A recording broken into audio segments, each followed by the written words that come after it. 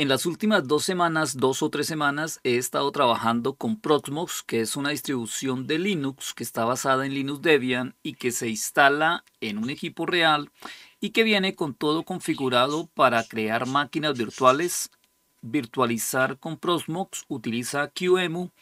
Ya tengo un portátil que es este, un Sony Vaio que se ve aquí arriba, un Sony Vaio. Y aquí en este computador voy a pasarme a otra terminal Voy a abrir un emulador de terminal. Ah, bueno, voy a cambiarme y voy a mostrar el Screen Key. Recuerden que ahora estamos patrocinados por la empresa GRTX. Pueden visitar su página web. Estoy en mi computador principal. Si doy aquí un NeoFetch, mi computador principal es el Hewlett Packard ProBook 430G3 pero este equipo que está aquí arriba eh, tiene instalado Proxmox y yo puedo ver que está prendido o que me responde dando un pin, pin a una dirección IP local o interna 192.168.1.104. Ahí está el pin, responde en 0.43, 0.5 segundos, milisegundos, perdón, 0.5 milisegundos una conexión directa por cable 5 metros nada más. Entonces voy a dar un control C. Para tener gestión de este equipo yo lo hago vía eh, una, una configuración o una conexión por HTTP es decir que vuelvo otra vez a abrir aquí el navegador web Firefox y puedo abrir otra pestaña. Y aquí yo daría aunque ya aquí lo tengo en una en un enlace 190, https 192.168.1.104 y el puerto es el 8006. Aquí nos conectamos. Perfecto, entonces aquí he configurado, aquí que dice PVE, aquí te puedo conectarme aquí por consola a mi equipo Aquí tenemos un emulador de terminal de esa conexión. Si aquí le doy un NeoFetch, no puede faltar. Ahí me responde, dice que es un Proxmox VE versión 8.2.2. Tenemos el kernel 6.8.4. Esta versión de Linux está basada en Debian, pero tiene un kernel personalizado de Ubuntu. Entonces, a esta versión yo le instalé un disco duro o bien tiene un disco duro LSBLK o LS. Bueno, tiene un disco duro mecánico SDA de 298 GB, 300 GB. Estas son las particiones que hizo automáticamente la instalación de Proxmox. Creó una partición SDA1, SDA2 para el EFI, SDA3 por dentro creó un sistema con LVM y tiene un particionado especial con todas las particiones que necesito. Entonces, lo que quiero hacer es cambiarle el disco duro. Ya no quiero este disco duro que tiene aquí de 298 GB. Es un disco duro mecánico, pero quiero instalarle un disco duro de estado sólido. Entonces, como ya he instalado, es decir, voy a volver a hacer la instalación, pero lo que quiero hacer aquí o mostrar en este video es el resumen de las máquinas virtuales que he configurado. Por ejemplo, tengo la máquina 103. Esta es una máquina virtual que creé en modo BIOS, BIOS y que le tengo instalado Boy Linux. Así que aquí voy a dar el resumen del hardware que tiene por ejemplo, aquí en hardware eh, le configuramos 2 GB, el procesador dice que es QEMU64, la BIOS por defecto sea BIOS, la pantalla la dejé en modo Spicy QXL de memoria 256, la máquina dice que por defecto es i440FX, el controlador SCSI dice Virtuo SCSI Single. Y aquí están los discos duros que se, que se configuran. Y aquí en opciones está otra vez el resumen BIOS No Order Any. El kernel dice Linux 6. Ok, todo esto es lo, lo que se configura por defecto. Ah, bueno, como estoy utilizando Spicy, el único cambio que hago es aquí, que le dejo en el video streaming all para que el desempeño de, de lo que se muestra en la virtualización sea mejor. Ok, esa es la primera configuración de una máquina tipo Void Linux. También hice una máquina con Windows 11, es decir, esta sería la máquina con Windows 11 que obligatoriamente necesita UEFI. Esta tiene 6 GB de memoria RAM, le estoy conectando, le estoy utilizando tres procesadores o un socket 3 cores. En la BIOS tiene que ser OVMF UEFI. La pantalla también es Spicy, esto no ha cambiado. En la máquina dice PCQ35 raya 8.1. El controlador SCSI dice Virtio SCSI. Esto que está aquí son los dos dispositivos que se o las dos ISOs que se necesitaban para instalar Windows 11. En Windows 11 se necesita una, una imagen ISO Virtio Win y la imagen ISO de Windows 11. Estaba utilizando la versión 23H2 de Windows 11 el disco duro, disco EFI y el estado de TPM, aquí está. Y en opciones, en opciones dice, el, el nombre era Windows 11 Spicy, el iniciar al arranque le digo que no. En el tipo de sistema operativo tengo que ponerle Microsoft Windows 11 2022-2025. Orden de arranque, discos, red. Creo que todo esto sigue igual. De nuevo, en Spicy le damos video streaming all. Esto es. También tengo unas máquinas en que le he instalado, por ejemplo, Chaos UEFI, esta de aquí, Chaos Linux con UEFI, solo que para que me funcione en modo UEFI tengo que configurarla como si fuera tipo Windows. Es decir, aquí en el tipo de sistema operativo tengo que ponerle Windows 11. Windows 11. Y creo que también, y todo, todo es decir, se configura como si fuera una, una instalación de tipo Windows. En el BIOS tiene que ser OVMF UEFI en la pantalla le dejo pantalla Spicy, en la máquina es PCQ3581. El procesador creo que en este caso lo dejo el mismo procesador de, de que tiene el disco, el computador real. En fin, estas son las opciones. Asimismo, el número 100, vamos a ver, no, creo que eso es todo. Ya probé Chaos, Chaos con modo UEFI, Voy Linux también lo instalé en modo UEFI. Entonces aquí también está, es decir, para poder instalar un, un equipo en modo UEFI tengo que configurarlo como si fuera Microsoft Windows 11. Es como me ha funcionado.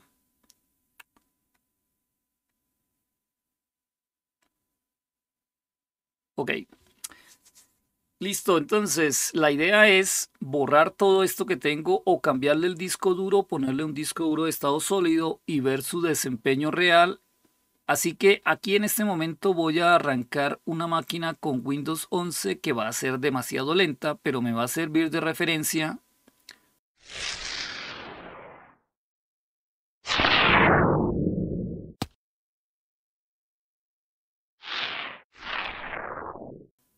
aquí la 106 me va a servir de referencia esta máquina con Windows 11 para ver cuando cambie el disco duro y que le ponga un disco de estado sólido para ver cómo se comporta. Aquí le voy a dar iniciar. Y aquí en consola, es decir, el equipo se está ejecutando y aquí abajo debe decir,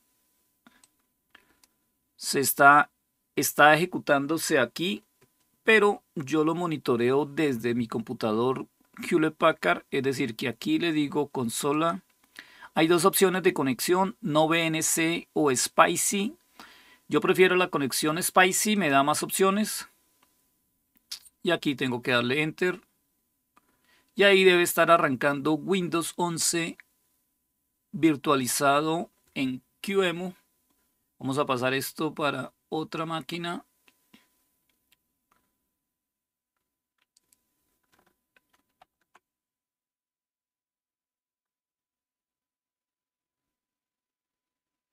Ahí debe estar arrancando. Ah, bueno, voy a cambiarme de... Voy a cambiarme mm, a dos pantallas. Pantalla interna. Esto de aquí.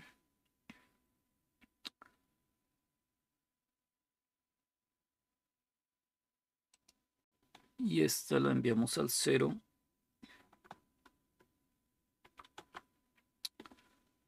Y volvemos aquí.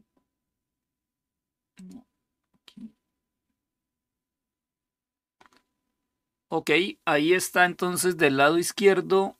Ah, bueno, aquí en el del lado izquierdo yo puedo volver a abrir el equipo, la consola, conectarme al Promox. Quiero ver si puedo hacer eso.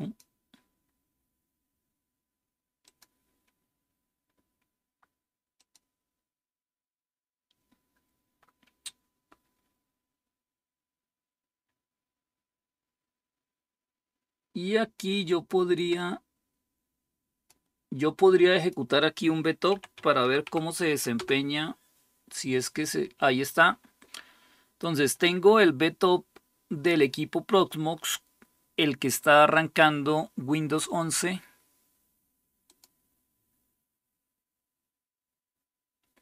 Del lado izquierdo el Proxmox el desempeño de BTOP del Proxmox y del lado derecho Windows 11 virtualizado.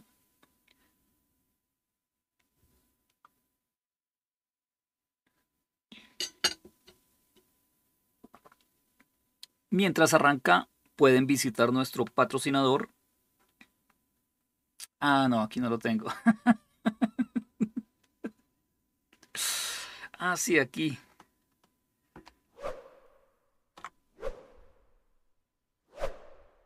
Ahí está arrancando Windows lentamente.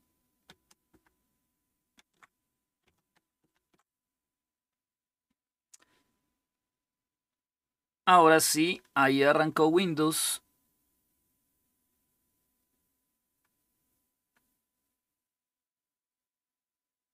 Mm.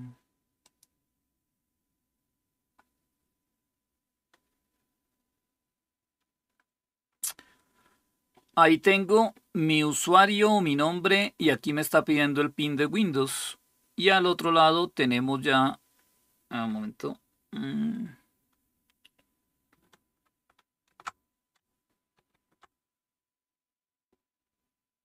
Ah, sí.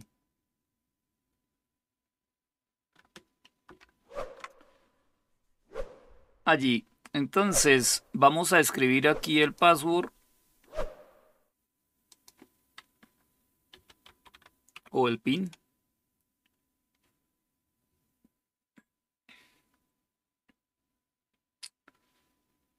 Y ahora sí, está funcionando bien.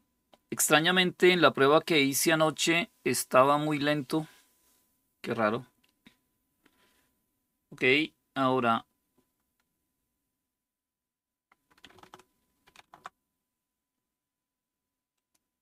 De nuevo me cambio.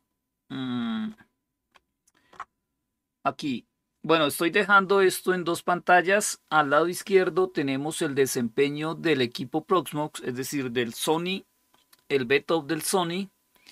Y al lado derecho se está virtualizando una máquina con Windows 11. Y yo puedo, yo puedo tomar esta,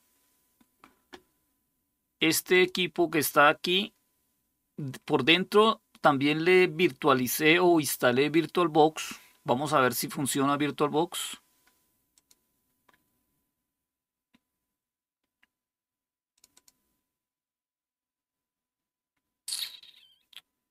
Ahí debe estar arrancando VirtualBox. Instalé la versión Home de, Windows 11. Creo que hay una versión más ligera, LTSC o algo así. Se podría probar esa versión un poco más ligera para ver si cómo funciona la virtualización.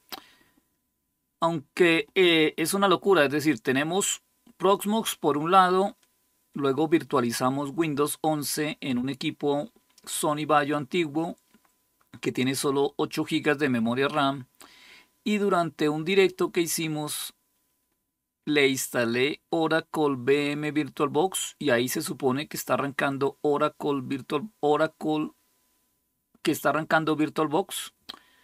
Pero muy complicado. De su pasión configurando con devoción. Linux en casa Jesús al mando salchipapas secretas que encantó.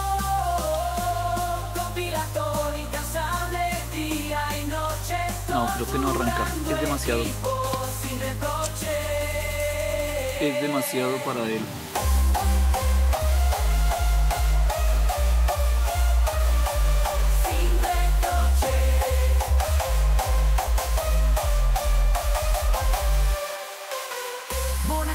no le atraen, videojuegos no los ve, Compaq HP, sus fieles aliados, en la casa sus redes ha tejido. Linux en casa, Jesús al mando, papá secretas que encanto, compilador incansable, día y noche, torturando equipos sin reproche. derecho. Así arrancó. Arrancó VirtualBox. Y ahora, dentro de VirtualBox instalamos Linux Debian. No podía ser otra. Tenemos una versión, creo que empezamos con una versión mínima. Vamos a ver si arranca. Ahí está arrancando VirtualBox. Observen que al lado izquierdo tenemos el del equipo Proxmox. Dice que la CPU está tranquila, está al 11%, 13%. Temperatura del equipo 56 grados centígrados. Se está utilizando de memoria RAM, dice, usada 6.48 gigas. 6.48 gigas que se están usando pero ahí está arrancando lentamente Debian Starting Virtual Machine.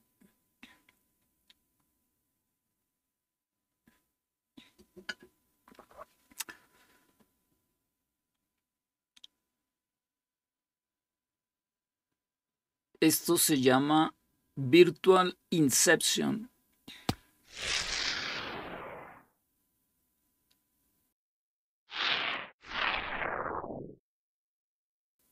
Un computador Sony Vaio con un sistema operativo Proxmox basado en Linux Debian al que le eh, instalamos en forma, creamos una máquina virtual con Windows 11 y dentro de esa máquina virtual con Windows 11 instalamos VirtualBox. Y en VirtualBox estamos arrancando eh, Linux Debian 12 Ahora sí, ya que está arrancando Linux Debian 12 dentro de Windows, el procesador del equipo como tal dice 87%, 84%, 100% en algún momento. Le dejé tres, tres, procesadores para el computador, es decir... Ah, bueno, si quiero salirme, observen que el mouse como tal... Ah, bueno, tendría que estar manejando tres mouse a la vez. Aquí en este momento cuando arranca la máquina virtual creo que ya pierdo un poco pierdo un poco el manejo del mouse porque tengo que tener el mouse que utiliza Win, eh, Debian, el puntero del mouse que utiliza Windows 11 y el puntero del mouse para, para mi equipo que sería el Hewlett Packard, que también tiene una versión de Debian 12.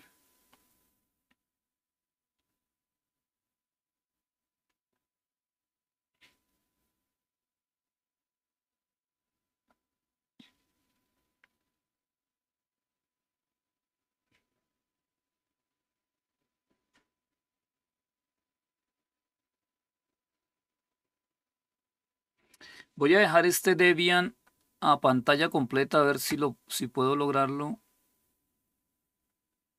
Ver.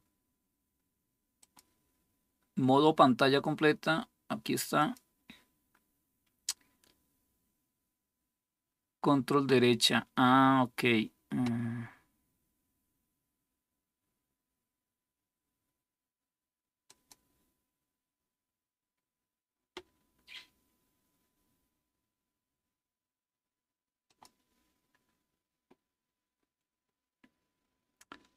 Ahí está arrancando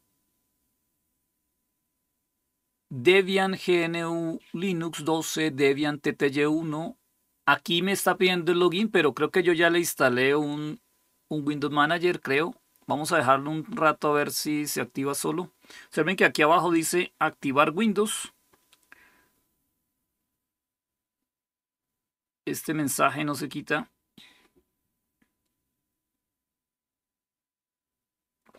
Estoy dándole un tiempo. Creo que ahora automáticamente yo había instalado... ¿O no? ¿O no alcanzaba a hacer tanto?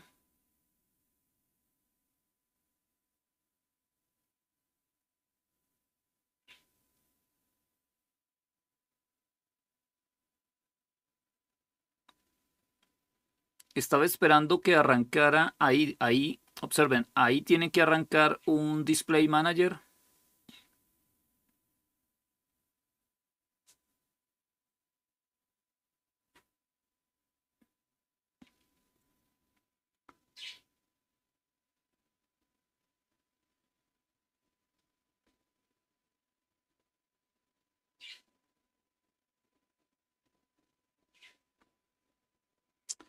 Sacándole el 100% a nuestros equipos. Estoy cansado, jefe. Se supone que aquí debería aparecer el Display Manager, la IDM, para poder ingresar a una interfaz, a una sesión gráfica. Le instalé BSPWM. Eso espero.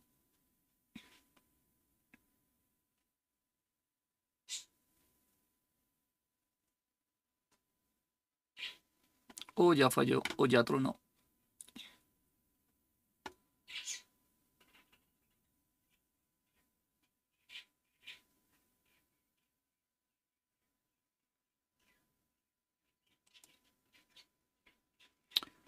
El mouse que se ve aquí blanco, este sería el mouse de Windows 11.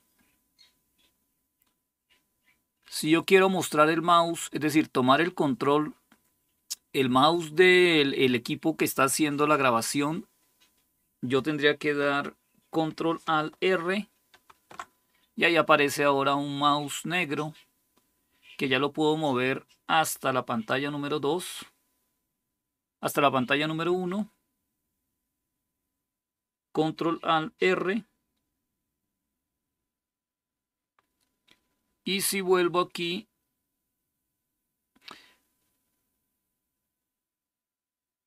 Este sería... Ah, ahí apareció. Esto, así está. Este que está aquí, ahí está. Entonces, vamos a ver si lo puedo tomar. Este, este si yo le doy aquí Enter. A ver si, si me acepta.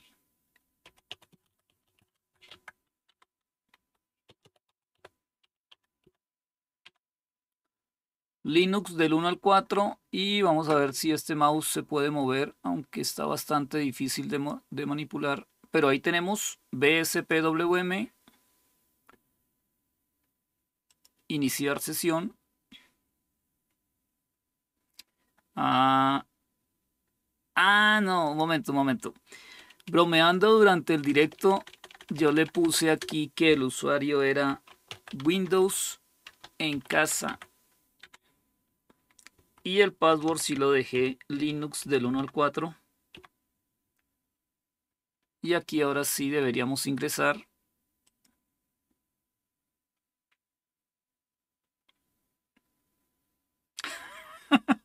Ahí está, entonces estoy dejando, ah, bueno, voy a hacer un zoom, control al R y ya obtengo el mouse de, de qué, de, del equipo con el que estoy haciendo esta grabación y aquí voy a cambiar la escena, super al I1,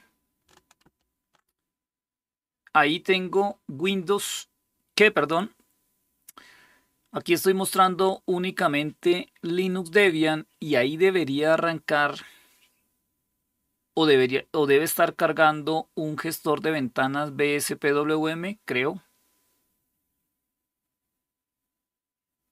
Le damos tiempo. Dejaré este video sin un solo corte y me va a servir de referencia para cuando cambie el disco duro de, de este equipo, que ya no, es, no sea disco mecánico, sino un disco de estado sólido. Mientras carga busco el disco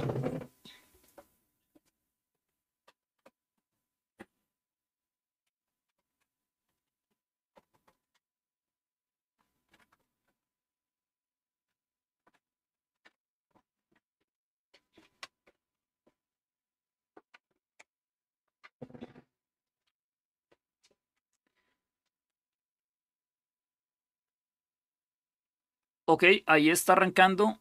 Mm, funciona. Entonces, la idea es al, a este equipo que está aquí instalarle durante esta semana un disco duro de estado sólido que es un Keystone de referencia Q500 48 GB. Por supuesto, esta es solo la caja, el disco como tal está en otro computador, tengo que desbaratarlo y hacer el cambio e instalar nuevamente Proxmox. Pero ahí está arrancando Linux Debian 12 virtualizado dentro de Windows 11 que a su vez está virtualizado dentro de Proxmox.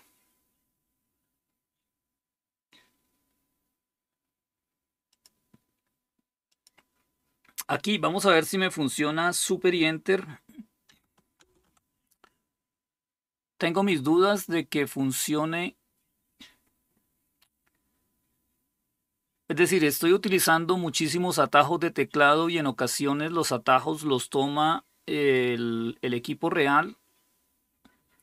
Vamos a usar solo el clic, menú,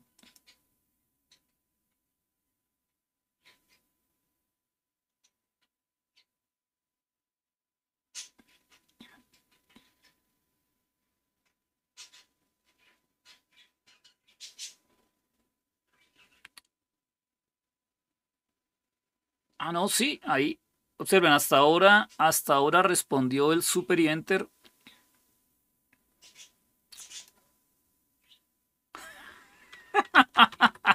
y aquí no puede faltar un neofetch.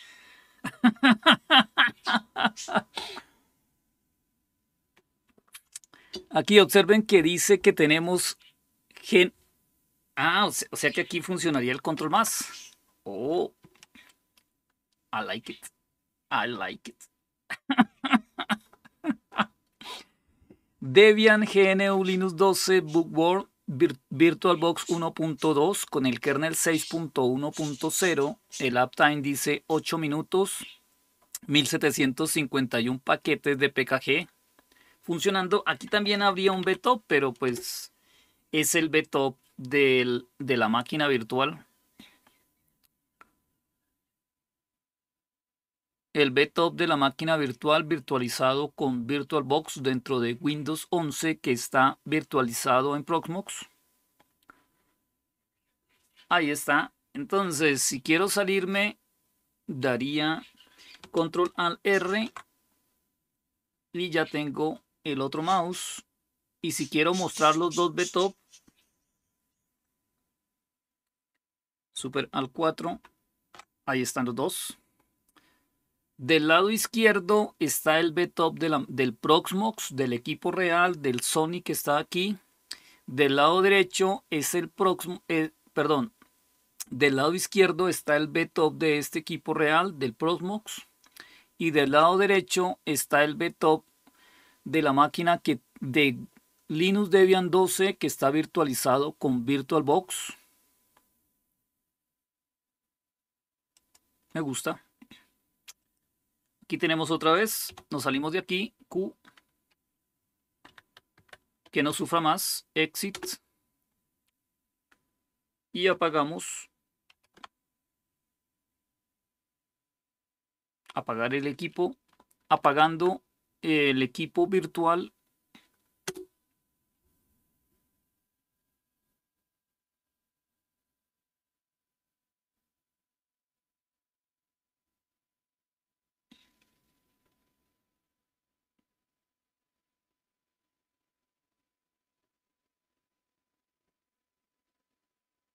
Aquí ya está. Este sería, vamos a ver aquí en ayuda, acerca de VirtualBox. Instalamos la 7.1 creo, 7.0.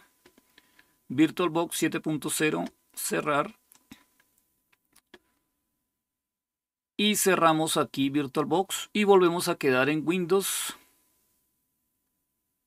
Ah, creo que por error abrí dos veces eh, VirtualBox.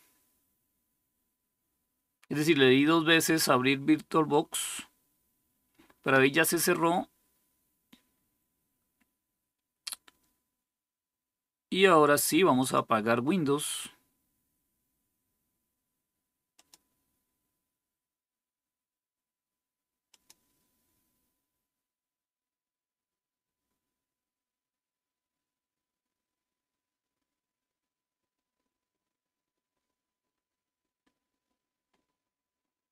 Creo que ya le di a apagar la máquina virtual de Windows 11, creo. Apagando el equipo.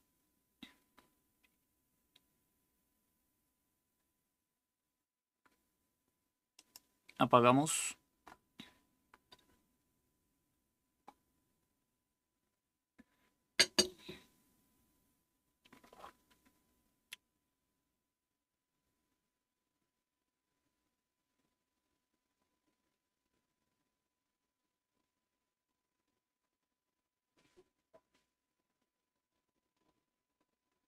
Dándole tiempo. Observen que al lado izquierdo que está la información de Proxmox todavía tiene un pequeño triángulo verde donde dice la máquina 106. Bastante pequeño, pero ahí está. Estoy esperando que se bloquee y no se bloquea. Se está apagando Windows 11. Esa pantalla negra es que pretende apagarse Windows 11. Voy a tomar control nuevamente del mouse, control al R. Ahí tengo control del mouse. Entonces, aquí esta máquina que está en el 106, que tiene un pequeño triángulo verde aquí, significa que todavía está arranca, todavía está funcionando Windows 11 y en este momento está intentando apagarse.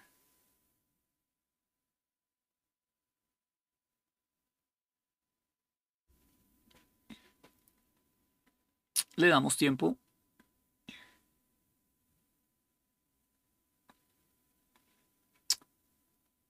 Ok, la ventaja que, tiene que tengo de utilizar BTOP es que me muestra la temperatura de mi equipo. Ahí ya se apagó.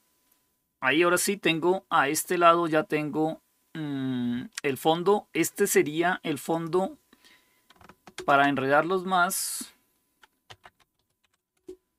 Este es el, fondo y, la, y el resumen del equipo que está haciendo esta, esta grabación. Obviamente con OBS Studio. Pero ahí estamos funcionando, working. Entonces, en resumen, un nuevo resumen, super al 1, 0. En resumen voy a borrar o voy a eliminar o voy a cambiar el disco duro que tengo aquí en este equipo Prosmox y voy a instalar un disco de estado sólido de 480 GB y de nuevo instalaremos Windows 11 intentaremos nuevamente la virtualización de Debian. Tendremos un escenario similar y volveré a hacer un video con el desempeño en este su canal de Linux en casa patrocinado por YerTX. Visita nuestro sponsor. Y terminamos. Saludos.